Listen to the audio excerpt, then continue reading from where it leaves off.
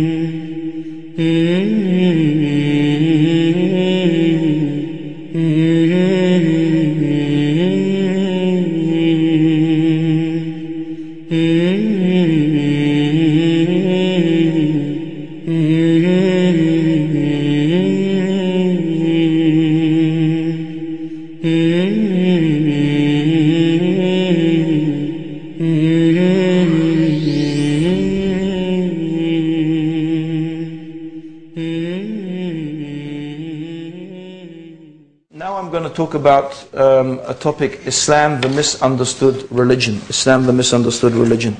And the first thing I would look, like uh, to talk about, the first thing I'd like to talk about is Islam itself. What does the word Islam mean? Okay, so the word Islam, so you, you'll often find that people say the word Islam means peace. And it is true in a sense that Islam means peace. Um, in the sense that peace, true peace, which is inner peace, you know, often we think of peace being as the absence of war. But actually, this is a very limited and narrow definition of peace, as just the absence of war. Because, in fact, in reality, we may not have war, but we still may not have peace. Okay, many societies may not be at war with other countries, but you'll find that those societies themselves are full of internal conflicts. Um, so, no, peace is a product of Islam, and when we say peace, we mean a deep inner tranquility that is something that for the one who really truly follows Islam, they will experience peace. But actually, the word Islam itself um, means submission. It means submission. Okay? And before the, the you know, before the film Fitna, yeah, there was another film which was called, I think, by a Danish filmmaker. He called it Submission. Um, and I think it's pretty obvious the question I'm going to ask you. What, what do you think of the word submission in the context of your average Norwegian? Yeah? Do you think, what do you think? That's positive or negative? Huh? Submission. Do you think that's a positive word or a negative word for your average Norwegian? Huh? Yeah, it's negative, right? If you say Islam means submission, they'll say, yeah, Islam means submission and we have freedom. So I'm not interested in that, thank you very much, right?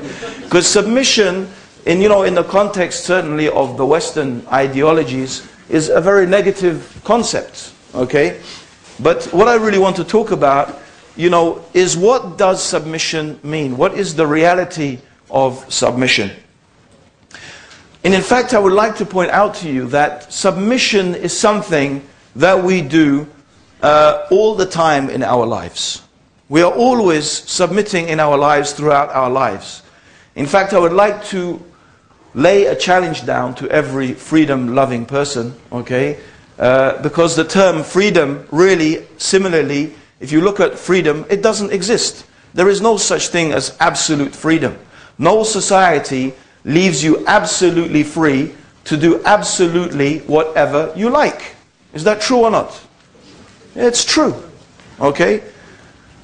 So, the, the, you know, freedom in an absolute sense is something that just does not exist. When a country says we are freedom, we believe in freedom, of course, if you discuss with intelligent people, they, what they mean is they, they will say, no, we are more free in this and this and this area than other nations.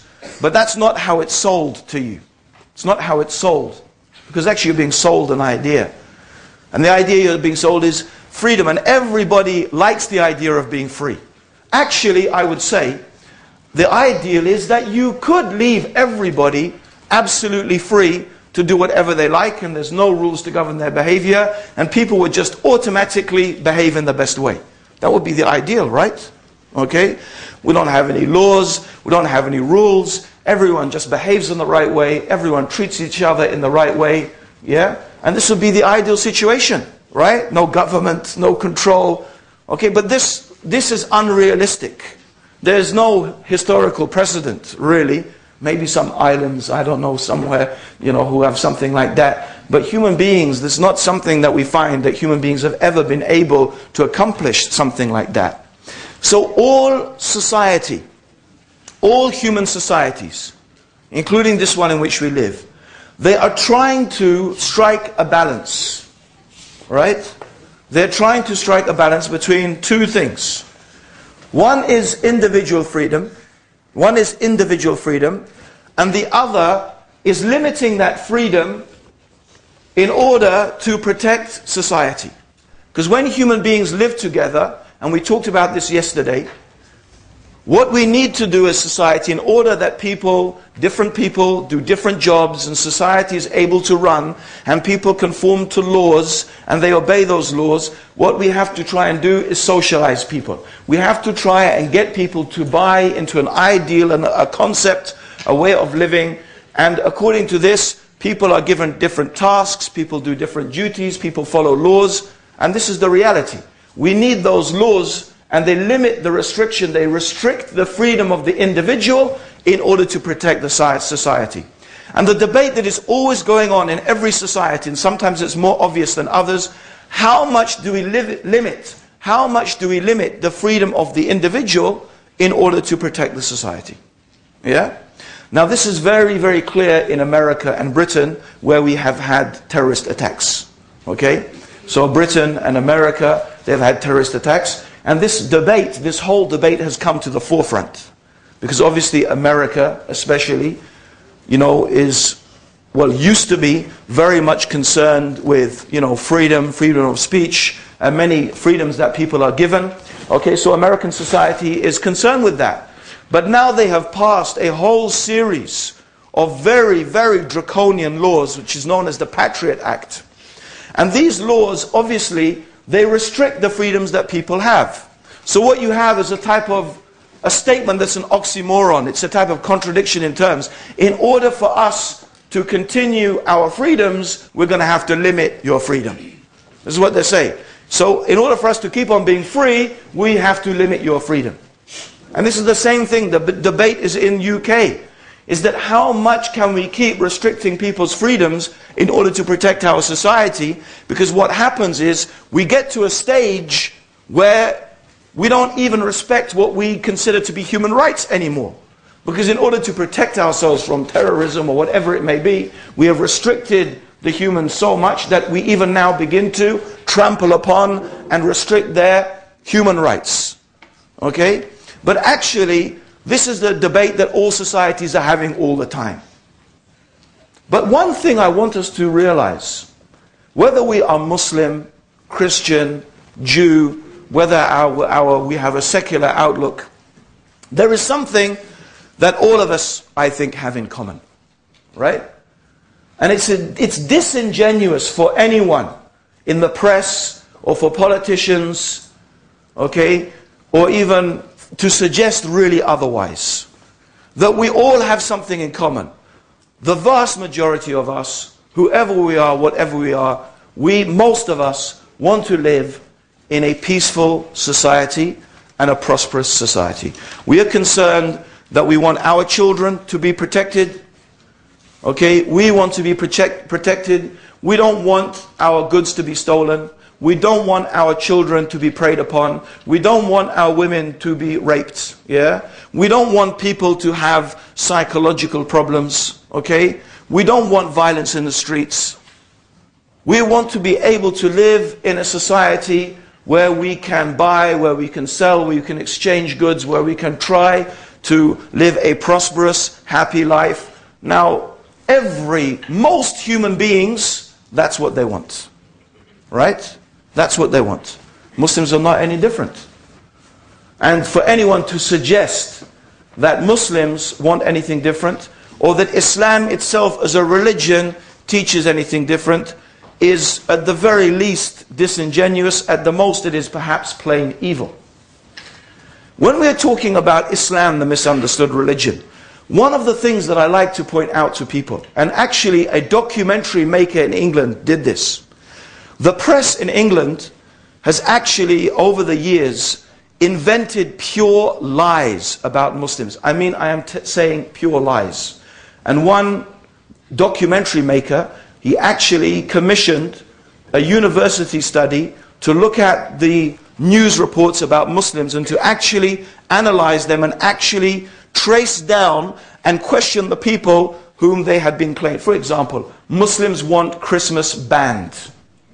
Yeah? This comes up again and again. Muslims want Christmas banned. In such and such council, in such and such province, yeah? Muslims demanded that Christmas trees should not be such and such, right? In fact, when the journalist went and they actually interviewed the council, the council said this is absolute rubbish, no such thing happened, right? All, all that happened was one Muslim one was asked to come to a Christmas party and said, I'm sorry, I can't come to the Christmas party or something. And from that was a, a really a total lie. For example, another type of lie is Muslim in hospital, hospital demands that pig, his picture is taken down from the wall. Right? Okay, I mean, I hear this is something that someone had, it maybe it happened, but there are stories like this which they were discovered were actually absolute fabrications, lies. Right? The other thing was Sharia law. Muslims want to implement Sharia law. Okay? And then what did they do? They went around, they actually did a poll and they interviewed Muslims and they said, Do you want Sharia law in England? Right? And they found like 40% of Muslims said, Yes, they want Sharia law in England and this and that. So they came with these statistics. Okay? And there was a big hullabaloo about Muslims want Sharia law in England. Okay? And actually, what this journalist did is he took these headlines and he, all he did, something very simple. He took out the word Muslim and he put the word Jew. That's all he did. He took out the word Muslim and he put in the word Jew. And then he went on the street and he showed people. Jews want their own law. Jews want to be able to practice their own laws. Same headline, but the word Muslim was taken out. And he said, What do you think of this headline? They said, That's very racist. That's anti Semitic. That's inflammatory. Right? Okay? Jews want Christmas banned. Oh, that they shouldn't say that uh, about Jews, yeah? I mean, all the headlines, he went and he showed them a whole series of these headlines. They just placed the, replaced the word Muslim with Jew. And then he went and said, actually, those were not real headlines. Here are the real headlines. And he showed them what the papers had said. And you should have seen the faces of those people, right? Looking ashamed of themselves. Ashamed of themselves, right? I guarantee you, brothers and sisters, and whoever's here is not a Muslim, anything you have against Islam, I can find something worse in the biblical law, which Jews adhere to and they believe in. In fact, there are so many death punishments in the biblical law, I can't remember, I, I haven't counted them. One of them is breaking the Sabbath. The punishment for breaking the Sabbath is death. The punishment for hitting your parents, according to the Judaic law, is death. Hitting your parents is death. Right? But we don't find anyone going out and, you know, Jews claim that you should kill your parents. Yeah? Uh, you know, no, no Jew, Jews claim you should slaughter your children for touching their parents, yeah, and stuff like that. Because quite rightly, quite rightly, I have to say, this type of these type of words and these type of statements, right, are inflammatory. And we all know, and we should all know, where did 150, 200, 300, actually it's a long more time than that. Okay? Actually, this type of attitude towards Jews started a long, long time ago in Christendom. But it all ended up after, by the way, a lot of years of massacres of Jews. The Jews were not only massacred by Hitler in the concentration camps. If you look in European history, Jews have been slaughtered throughout European history. Okay? That was just the most nasty and the most dramatic of them. But what came behind the slaughter of the Jews was years and years of propaganda, anti Semitism. And in fact, if you look at the type of stuff that people are saying about Muslims today, it is exactly the same type of things that were being said about Jews in the past. Exactly the same type of things. Okay? And this, actually, in my opinion, is a very nasty streak that exists within Europeans. Despite all of their claims of tolerance and all of their claims of being open-minded and this and that, there is a very nasty streak, that, a nasty anti-Semitic streak that runs throughout European history. And this type of propaganda that we find against Islam is just another branch of it. It's just another version of it. The Muslims are the new Jews. We are the new ones that the, these people with this very nasty streak in them, they have found. They always like the alien, the other, to pick on. In the past it was the Jews, today it is the Muslims. Because fundamentally, for 90% of Muslims, okay, the reality is that they just want to live a peaceful life. They want to benefit from what they can materialistically from society. And in fact, in general, they want to contribute to the well-being of humanity. We want to live peaceful lives for us, our families, and our children. Right? Islam teaches us about how to be a good neighbor to the extent that the Prophet Muhammad, may Allah's peace and blessings be upon him, he swore by God. He said, Wallahi, by God, he is not a believer. Wallahi, by God, he is not a believer. By God, he is not a believer. The one whose neighbor is not safe from his mischief. And the Prophet did not say as to whether this neighbor was a Muslim or not. It doesn't matter. If you're Muslim, if your neighbor is Muslim or not Muslim, it doesn't matter. You cannot be mischievous and destroy, uh, to annoy your neighbor. In fact, it's impossible that you are a person of faith in God and you could treat your neighbor like that. In fact, indeed, the Prophet ﷺ said, he is not a believer who sleeps with his stomach full or her stomach full while her neighbor is hungry. You, you can't be believing in God and your stomach is full and your neighbor is hungry. In fact, the Prophet said, when you cook, add some more, make some more stew, make the cooking more so you can share it with your neighbors. This is what it's specific instructions in Islam, even to the extent that you should share your food with your neighbors. The Prophet sallallahu ﷺ, may God's peace and blessings be upon him, himself, in Mecca, he used to live next to, and this is a very famous story, many Muslims they have heard of this story, of course. He used to, one of his neighbors was a Jewess. And she regularly used to throw rubbish on the Prophet, uh, on the path of the Prophet when the Prophet some used to walk down the street. Regularly she used to do this. And one day, the Prophet was walking past the street, and what did he notice? No rubbish that day thrown on him. Right? So what did he do? He went back and he knocked on the door. And the maidservant of the house answered the door and he started saying, he started asking, you know, um, is, your, is your mistress okay? Is she well? Is there anything I can do for her? You know, I'm her neighbor. I live just close by. If there's anything I can do to help her, please just let me know. Okay? Along, something along these lines. Okay? Uh, when this woman, she heard about this, she said, Ashadu an la ilaha illallah wa ashadu anna Muhammad Rasulullah. I testify there is no God but God and Muhammad is the messenger of God. Only prophets have character like this. So this is how the Prophet Muhammad treated his neighbor. There was a great scholar of Islam, his name was Sufyan al-Thawri. And next to him used to live a Jew. His neighbor was a Jew. So many people used to come and beg this Jew, let me buy your house.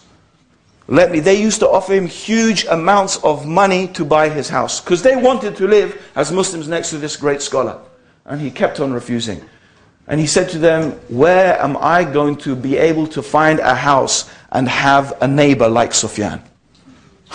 Where am I going to find a house and I'm going to have a neighbor like Sufyan? This is how, this is our religion.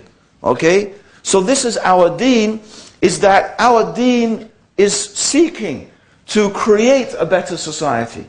We all agree, therefore, any sensible person and the only person I really who think will not agree with this are the extremists on both ends of the spectrum, right? They will be the extremists on both ends of the spectrum. The neo-fascists, right? And the Muslim extremists. But in between that are the ordinary people. So in reality, what are we saying? We are saying, look, we agree upon the same things. The only thing we disagree upon is how do we reach that goal? Here's the goal we want to reach. And we all want to reach the same goal.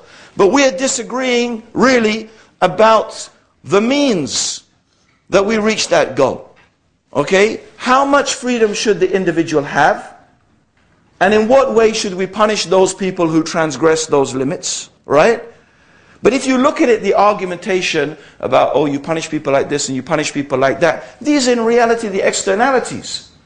You know, these things are not evil in and of themselves. They are really different goals, different means to reach the same goal, the same destination. Now, it may seem to the eyes of people who live in Norway or England or I don't know wherever at the moment, people may seem, they may say, oh, these laws that you Muslims have, they are very barbaric. Yeah? And I will admit, from the point of view of someone who's brought up in the West, they seem very barbaric. Right? Chopping the hand off the thief, for example. It seems very barbaric. Okay? There's no doubt about that. If you're brought up here, that's how it's going to look. Okay? But what is the objective? The objective is that people will live in a safer society. Similarly, what, we all agree that stealing is bad, don't we? Right? I don't think anyone's going to disagree that stealing is bad. No one who's had their property stolen and has had things taken from them is going to think that's good. Right? So we're talking about how, what is the solution to the problem? How do we reach the goal that we want to achieve? We have now we have different opinions about that. Okay? Now you may say the punishment is harsh, but then we can point to examples historically and even in the world today where that punishment is implemented. First of all, very few people receive that punishment, but in spite of that, the society is really, really safe. People can leave their goods, people can leave even their gold, their cars, they leave doors open and people are not harmed. Even in England, in UK, I recently, just the other day, had my bike stolen, okay, from the back of my garden, right? And my wife was going around, okay, knocking on the doors of neighbors, and so many people said we've had the same problem, right? And my wife, she's actually sometimes a bit more fiery than even me, and I have to say, calm down a bit, you know, and whatever, right? And she was saying to the neighbor, you know, I think we should probably chop their hands off. It's a good thing. The neighbor's going, yes, that's a good idea, right? I think that's it. And you would be surprised. You would be surprised how many people, right, would agree with that, right? You see, in Islam, it's not about some mad Muslims as hordes going around hide jumping on some person they think is a thief and just slashing their hand off like that. And we got him, here's his hand. You know, like in that film, uh, what's that film? That superhero. Uh, what's his, you know, I forget it now. Anyway, I just saw like three seconds of it, and he sharpens this thing and he chops the hand off this terrorist, you know, comes with the hand. And, what's it called? I don't care, but anyway. The point being is that you'd be surprised how many people would say, yeah, you know. Because what? Really, seriously.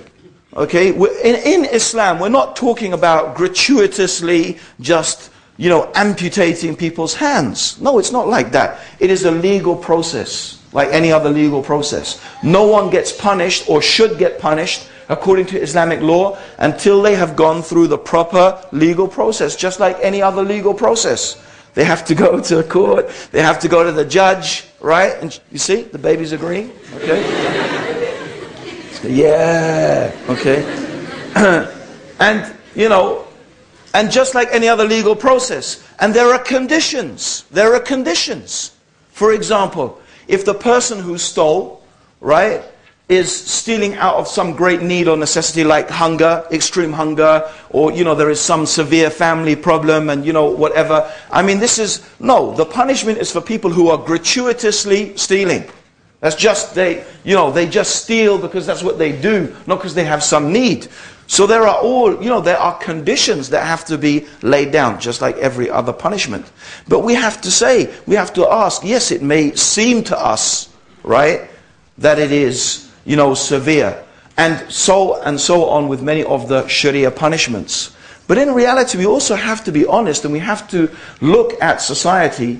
You know, and I don't know much about Norwegian society, but obviously I live in, you know, I live in London. And the part of London where I live, okay, every single week we are hearing about kids who are shooting each other, who are stabbing each other, who are killing each other. We hear about perfectly innocent people being beaten to death by gangs of youth, literally in front of their daughters, in front of their children.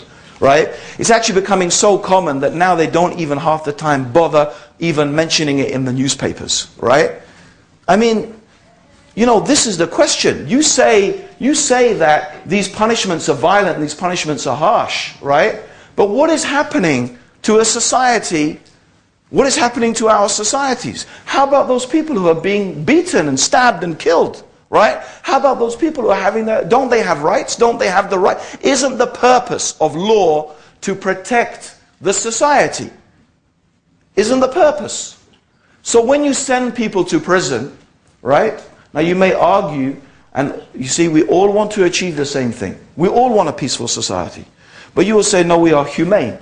Okay? We don't do these barbaric things. Okay? Well, okay, fine. That's, in my opinion, just polemics, right? But what do you do? You send people to prison. I'm not, I don't know about Norway, but let's talk about England, for example, right? If it's the same, you'll know what I'm talking about. What happens in prison? Most of the time. Most of the time when people go to prison, right, they sit down with other thieves, other criminals, and probably they'll sit down with people who committed worse crimes than they even did. Right? And what do they do? They sit there feeling, oh, I'm so bad, I shouldn't have done that, I'm going to be a good boy next time. Right? You know, you know what they do? They sit down with the other thieves and criminals, and those other thieves and criminals teach them how to commit crimes. Right? If he didn't know how to pick a lock, by the time he's out of prison, he'll know how to pick a lock. If he didn't know how to break out a, a window, he'll know. Because you know what? He's gone to a university of crime. No, it's serious. He's gone to a university or she's gone to a university of crime. And so when that person comes out, are they thinking, oh, I'm not going to do this? No, they say, I'll do it better. I'll do it better next time and I won't get caught because I've learned some new tricks that I didn't learn before. Now you tell me, does this stop the thief from stealing? No, 80% people reoffend. Does it protect society? It doesn't protect society. In fact, you've just made society worse. Right?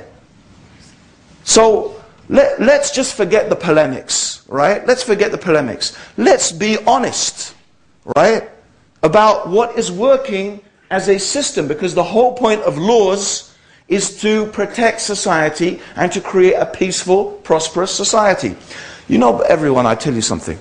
You know, 20 years ago, when I became Muslim, I went down to Speaker's Corner in London Now you can see some of the videos probably of me standing up there, ah, shouting away, right? And I wasn't shouting because I was angry. I'm shouting because it's the only way you get heard in Speaker's Corner, right? And I'm standing there. And one of the things I used to talk about, right, is the evil of interest, right? The evil of interest and the system and the economic system that is based upon interest. And I used to talk about how the whole interest-based system is controlling. It's a new means to control and colonize the third world. And it's very cruel and it's very evil, right? Because they generate this enthusiasm through the propaganda, through the media propaganda, which we talked about yesterday, right? Who do the media support? Obviously, they write what their advertisers want them to write. Okay? Okay, I'm sorry to say, many journalists are nothing more than intellectual prostitutes. Really. They have, they have intelligence, but they prostitute it to whoever is going to pay them. And you'll see, they will change their mind. One day they will be writing this, next five years they'll be writing that. Whoever pays them, they'll write for them. Right? And who is their paymaster? The, the newspapers and the magazines that depend and rely upon what? advertising. We went through that yesterday. Okay? So, these banks, they create this, not the banks, but the society through this propaganda, through the media. They go to the third world. They create in the minds and hearts of these people a perceived need for products they actually don't need. But they create that desire. So what do they say to them? how do you get these products? How do you get them? Well, you know, if you want to buy our goods, yeah, if you want to buy our sophisticated Western goods, of course we're not going to we're not going to accept, uh, you know, I don't know whatever the currency is, you know, Kenyan shillings or you know, you know, shells or I don't know what people. No, we need real money, dollars, pounds, right? But if you want you know, dollars and pounds, I will tell you what you need to do. What you need to do is you need to grow cash crops, things like coffee, cocoa, tea, yeah? And what you do is then you sell them to us. Now, those things are valuable to us, and we'll give you dollars for that, right? So what do people do? Is they, the land that the people used to use to feed themselves for agriculture, yeah, they then convert to cash crops. Huge swaths of land being converted to cash crops. But of course, what they don't tell all of these poor people is they're telling every other poor person to do the same thing. So what happens, according to the economic system, when you have a glut, right, of any particular product, right? You have an over, you know, if you have too much coffee, too much cocoa, too much sugar, too much tea, what happens? Supply and demand, right? The cost goes down. The price is less, right? So you have all of these people producing these cash crops, but there's so much of it in the market. So these people who thought they were going to get nice money for it, what do they find? Lo and behold, they're not getting so much money for it. Okay? The money they're getting is less. But they've turned their arable land into cash crops. And now what starts to happen? That people start to get hungry. The food that they, the, the land they used to grow food on, they're not growing food on that anymore. They're growing cash crops. They don't have any food. And who comes along? The great compassionate Western nations. They come along and they say, don't worry, we've got heaps of grain, we've got heaps of food, we've got stuff, you know, you just need to buy it from us, we'll sell it to you. Right? Well, we haven't got any money. Don't worry, we'll lend you some money. Yeah? We'll lend you some money. Right? But what you need to do is you need to make sure that your whole economic system is designed in a way that you can earn dollars and pounds and so on and so forth. So what happens? They get in a vicious circle. They borrow money to feed the people, right? They need to turn more land to produce more cash crops, but the price of that never meets their expectation. Then they need to borrow more money, and then they have the interest on top of that, because it's based upon the riba, until the state that we have in the third world now, that the interest on the debt is actually more than the debt itself. That is total slavery. That is so much more effective than sending armies, right? I mean, why would I want to send my soldiers over there to get killed? Let's just enslave them with debt, right? And you know what? This is not only happening on an internet, this is happening to you. You.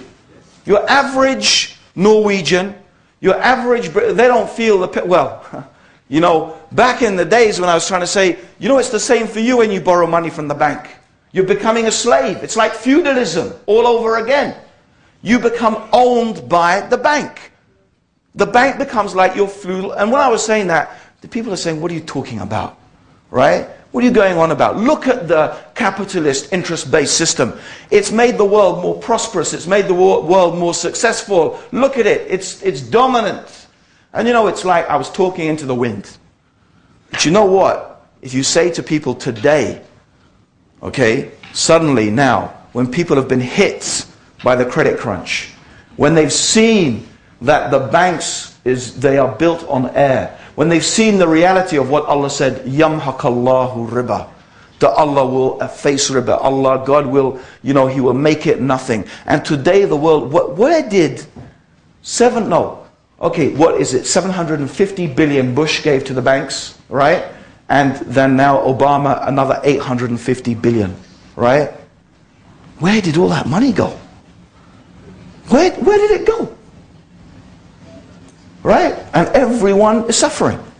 Now, you know what? Now, when you start talking about the Islamic finance system, that Islam, 1,400 years ago, had a system of economics that is not based upon interest, that is interest free, that is based upon business and profit and loss sharing. No, suddenly, suddenly people now are listening. Suddenly they say, yeah, you people have got something to say. Right? Although, you know what? 20 years ago, we were just talking, talking, and no one was listening. So the point here is that really, what do we want? We want the same thing. Okay? We want the same thing. We just have different. You see, but as Muslims, we don't believe that we as Muslims have, you know, we're so clever and, you know, we're so advanced and we sat down and we thought these things up for ourselves. Okay? No. The fundamental difference here, the real difference is, we as Muslims believe that what we have is from God.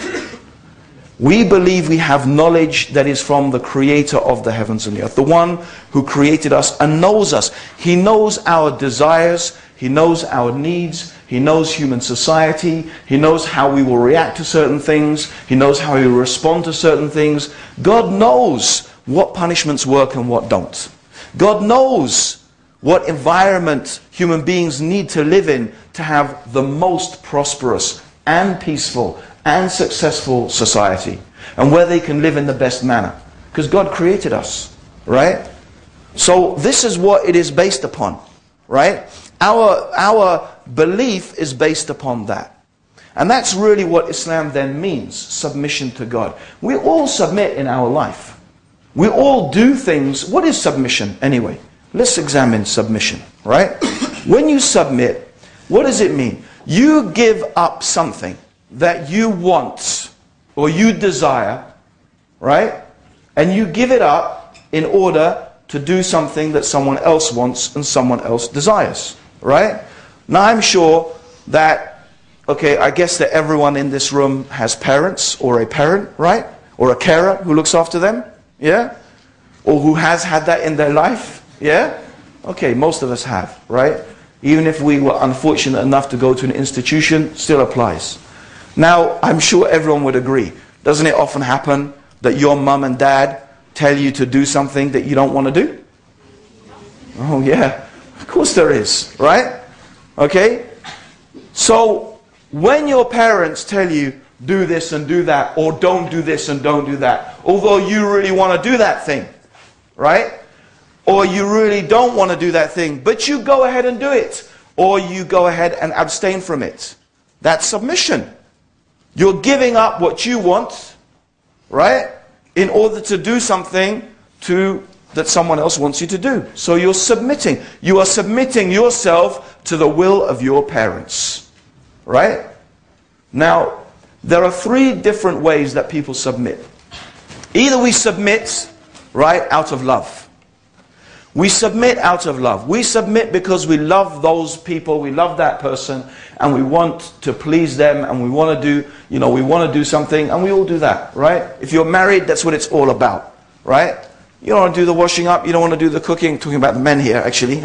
and, uh, but you know what? Your wife needs help, right? You may not want to do it, but you do it. She asks you to do this, to fix that, to fix this, but you go ahead and do it. Why? Because you love your wife right? You love her. You love your kids, right? You love your parents. So sometimes you do things out of love, but sometimes you do it out of fear.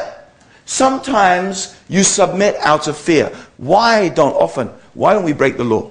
Why don't I just park my car? And why don't I park it in the middle of the street? Right? I used to do that in Egypt. literally, right? You park your car in the middle of the street. You go to the policeman. And you said, "Here's wahid guinea." Here's one pound. Guard my car. He will stand next to your car for three hours, right? And he will guard it personally for one pound. And by the way, in those days, you know, one pound was a lot for a policeman since his monthly wage was like, I don't know, five pounds, right? For us, nothing, right? So, you know, can you just park your car? Okay, Norway, right? What happens if you park your car in the middle of the street? Huh? And I've seen a lot of cars parked weirdly in Norway. But what happens generally? Huh? You get fined, right? Is that it? They take your car away? Do they have a tow it away and stuff like that? Know, maybe people are really chilled out in Norway, right? But in England, my God, you know, any little infringement, your car is parked on a yellow line, this or out of the zone, that's it. Ticket, towed away, clamp, right? Sometimes the fine you have to pay is more than the price of your car, right? Okay? So what makes you not do that? It's fear.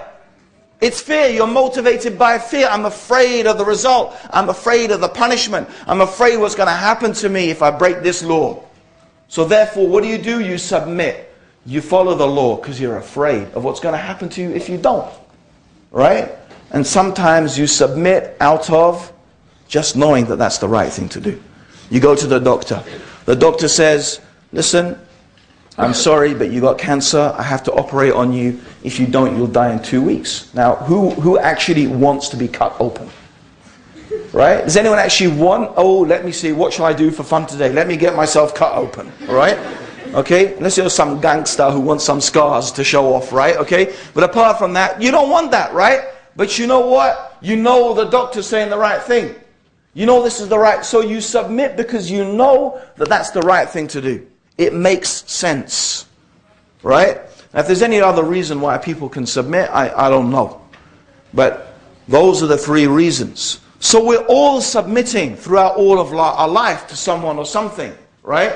You never, in fact, I will challenge you to find a single moment when you are not submitting to someone or something. I mean, you can't because as a human being, you have to submit to your biological desires. You have to breathe. Your heart has to bump, pump, you know, blood around your body. You know, you're always submitting to someone or something. You just never escape it throughout your life. So submission is the reality. Of course, there's some things we submit to by choice because we choose to submit or not to submit. Right? So we're all submitting. But what is Islam saying? Islam is saying the one that we should submit to really, in reality, is our Creator, is God. Because whoever you love, God has more right to your love. Think about why you love people. Think about why you love your parents. Think about that. Well, God created your parents. God created your wife. God created your husband. Whatever it is that you love, God created that. So surely you have more reason to love the one who created those things than those things themselves. So God has the most right to your love. So therefore, surely doesn't God have the most right to your submission? Don't you doesn't he have the most right that you should give in? Right? to, to do what is pleasing to Him, to please Him? Yeah. See? Agreement. The one that counts the baby. Okay? And how about fear? Yes, fear. I'm not going to shy away from it. I'm terrified of God. Whatever most terrifying you thing you can think of, the most terrifying pain. And, you know, I don't know you, who's been in pain. Any woman who's given birth to a child knows what pain is, right? And they say gout is more painful than childbirth, right? You know, it's like a, you know, gout is like a rheumatism, severe form. So we've all experienced pain. How about emotional pain as well? Loss. You know what? And that, that pain's a reality in the world, right? So that pain, whatever that pain is, similarly, that's something God has control over. And God can subject you to even more pain if He wants to, right? If he wants to remove it, he can remove it. So yeah, I, I'm afraid. You should be afraid. God has more right that you should be afraid of him than anything else. Right? And how about how about intelligence? How about wisdom? How about following something because it's wise? Well, God is the most wise. He knows everything. If I'm going to decide to submit to something because it's sensible and it makes sense, then God has more right that we should submit on that basis. God's knowledge is perfect and ours is imperfect. So this is the logic behind the essence of Islam. It's I don't think that any person would argue with the logic of it, right? The Quran actually says, if this book is from God, if this book is from God, who else but a fool can reject it? So, I mean, from the premise, at least take the premise that if the Quran really is from God, surely would any sensible person would agree, right? That the only choice we have is to do what the Quran says. Right? If it is from God, and we can argue about whether it's from God. And see, this is the point. People argue, oh, your, your, your religion says this, your religion says that. It's got this punishment, it's got this thing, it says you should treat this person in that way. Right? But you're missing the point. Because for the Muslim, it's all irrelevant in a sense about the, these details, right? Because if we believe it's from God, if we believe it's from the Creator, right? Then that's what I have to do. I have to submit myself to what the Creator teaches, to what the Creator says. That's what it's about. And it may or may not make sense to me. But surely I can recognize that God understands me better than I understand myself. And I'm sure how many people in the, this room, it's happened to them in their lives. Right? There's things your parents have told you. I mean, anyone who's got kids know that. Don't do that. But how many kids, even 10 year old kids, think they know better? Right? Let alone if you've got a teenage son, right? Or daughter, right? You know, you're trying to tell them, you know, don't do this. It's just not the right thing to do. No, they know better. You don't know what you're talking about. You, you don't know, right? You, you haven't lived the life that I've lived, right? You know, you don't know what it's in the street like that out there, right? Yeah. Because as we're, we're facing all the things, man. Right? It's like, okay.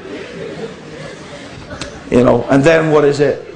You know, Dad, you were right. Can you get me a lawyer to get me out of prison now, please? You know? Yeah, you were right. So, I mean, it's all happened to us, right? I think we've all done that. True or not? Right? So if that's true just between human beings, how about God? Isn't it possible that you might think you know better, right? But in reality, you don't know better. God knows better, right? So our question as Muslims is this irrelevant. You can go on and on about Islam this and Islam that, and your punishment this, and your Quran this and this. Our question really is, is the Quran from Allah or not? We believe it is. And we think we can prove to you that it is. I mean, when I say prove, we can give you evidence that I don't think any sensible person would reject that evidence. Right? So this is the question. Right? Is, so this is what our religion is based upon. We surrender ourselves to the Creator. We surrender ourselves to God because we believe that that knowledge, that that thing that God has given us is from the Creator of the heavens and the earth. You know? And God knows best. God knows best what degree of fear is it that you need. What threat of punishment is the right threat of punishment in order for a person to stop stealing. What threat of punishment do you need in order to stop people committing adultery and fornication? And how bad is that? And what is the impact of that on society? You may think it's nothing, right? You may think that it's nothing. Because some things, and then that's another thing you can all experience, sometimes you don't only find out until a long time, even until it's too late. And then you say, oh, if only I had known that in the beginning right? You only find out, uh, it's not that everything, right, straight away that you realize, oh, that was the wrong thing to do. No, sometimes you only discover that it was the wrong thing to do after a long time. And this is the thing that God knows the long-term effects. God knows what is going to happen over the long time. Sometimes even we human beings don't live long enough. We don't live long enough to be able to see the effect of something could happen two generations ahead, or three. And our human experience doesn't allow us even to collate that. But God knows that. God knows the effect, right? Years down the line, right?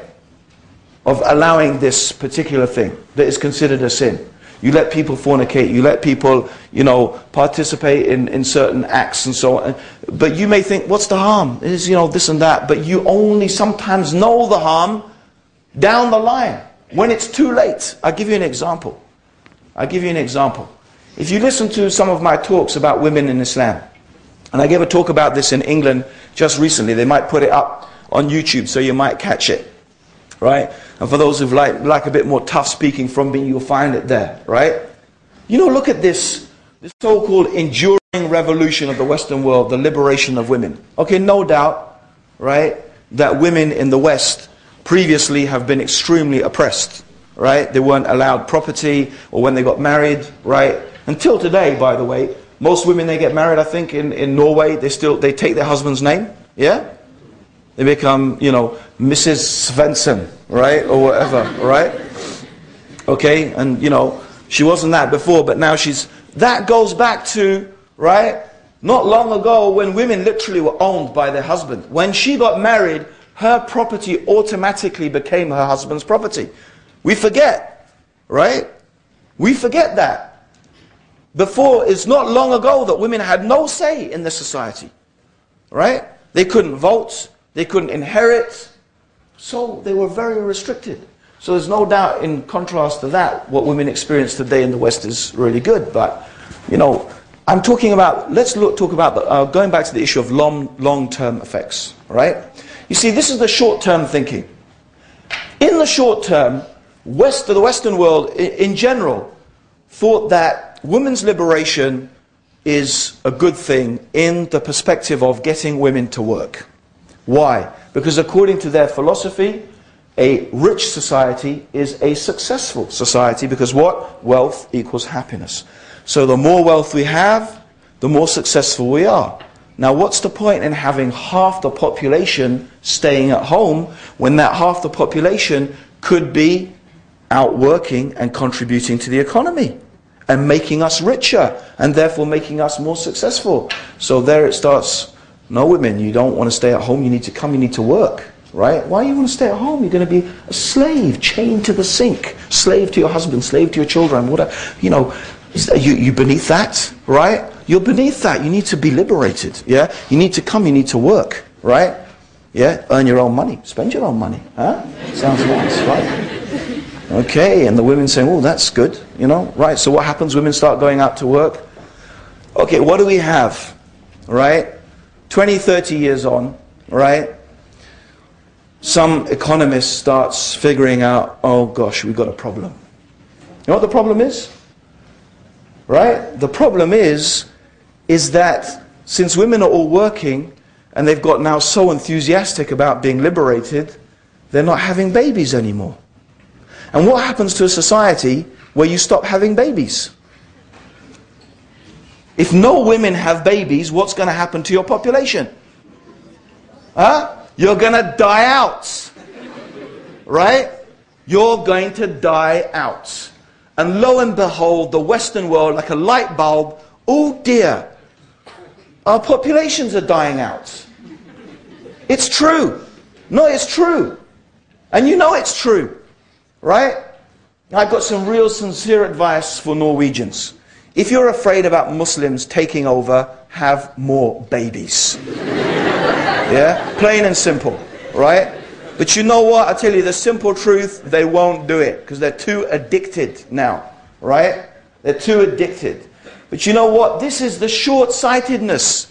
You know, I mean, you'd think it was really sensible. Women stop having babies, population dies, oh dear, problem for our country. But no, money, money, money. Let's improve our economy, right? I mean, it's ridiculous. It's so simple, right?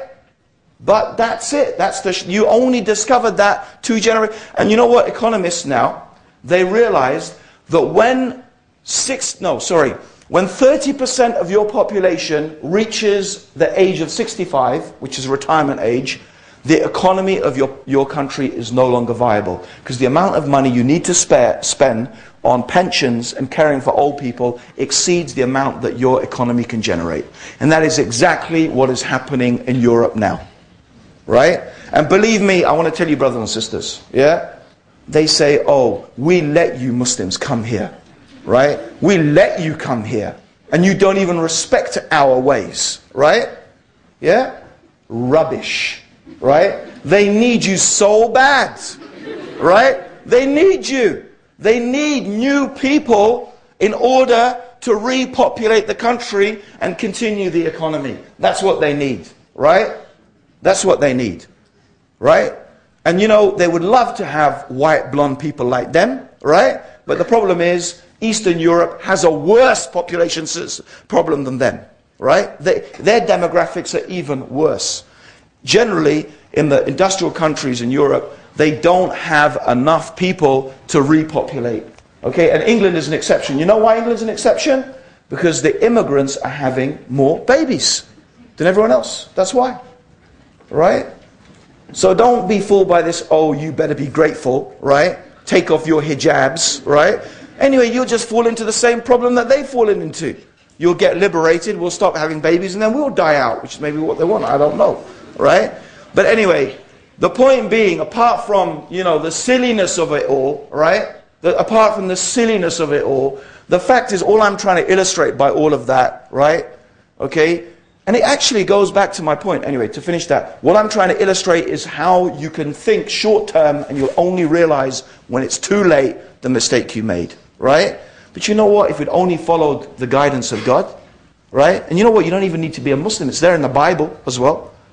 As Christianity used to teach that. Go forth and multiply. Christians used to be concerned with having lots of kids because that's not what, what because that's what God said. They didn't know about economics. Right? They didn't know about economic theory. They didn't know about population demographics. They did it because what? God said do it. Right? It's the same. Right? But you leave the guidance of God for the limited, very limited, confused notions of human beings and see what you end up with. Right?